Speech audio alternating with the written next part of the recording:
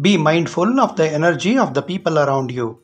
The spoken word is the last form of communication. Your energy cards establish with the person first by way of thoughts, then by the vibration of your presence, and last is the spoken words. Always be mindful of this. Keep your own energy field and aura always vibrating higher by being in gratitude, love, peace, and bliss. Soon, your financial situation will improve drastically. Do remember to help those you really need your support.